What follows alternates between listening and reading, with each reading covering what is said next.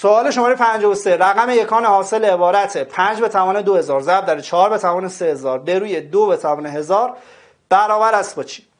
وقتی یه عبارت بهت داده که پایه‌اش یکسان نیست تواناش هم یکسان نیست یه کاری که می‌تونی بکنی چیه؟ اینه که این بالا تواناتو به میمیم این دوتا بگیری.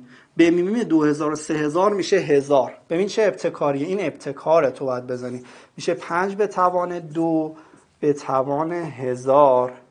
ضرب داره یه چیزی دیگه به توان هزار چی میشه چهار به توان چند به توان هزار که بشه سه هزار چهار به توان سه به توان هزار که بشه چهار به توان سه هزار این هم بشه پنج به توان دو هزار به روی دو به توان هزار خب حالا اتفاقی که میفته 5 به توان دو میشه 25 میشه 25 به توان هزار ضرب داره 4 به توان 3 میشه 64 به توان هزار به روی دو به توان هزار. خب اتفاقی که میفته همشون توانش هزاره یه هزار برای همشون می‌ذاریم.